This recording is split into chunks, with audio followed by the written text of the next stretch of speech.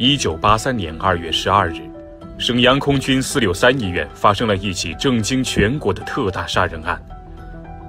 警方历时七个月，付出了极其惨痛的代价，才于一九八三年九月十八日将两名案犯击毙。这两名案犯就是当年臭名昭著的东北二王。东北二王是俩亲兄弟，分别为王宗坊、王宗伟。这两人在一九八三年除夕的时候，混入了沈阳空军四六三医院。两人相互配合，实施入室盗窃，后来被工作人员发现形迹可疑，被带去审查。哪知这王宗伟当过兵，手里有枪，贼胆包天，开枪打死了四个工作人员之后，兄弟二人逃之夭夭了。公安部接到报案后，立马发出了通缉令，在全国范围内追捕二王。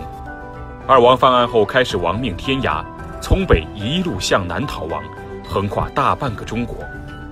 在此过程中，两兄弟更是到处作案，顿时谣言遍布全国，给民众带来巨大恐慌。二王逃到江西后，妄图从广东、福建等地出海，但二人的行踪被警方掌握，在全力围捕之下，最终在江西广昌将二王击毙。至此。二王案件宣布告破。这七个月之间，二王凭借枪支和手榴弹打死打伤公安执法人员和无辜百姓十八人，其性质之恶劣令人发指。公安部更是因此发出了新中国第一张通缉令。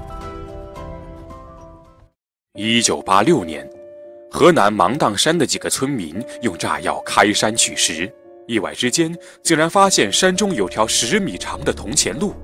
里边还藏有无数珍宝，这究竟是怎么回事儿？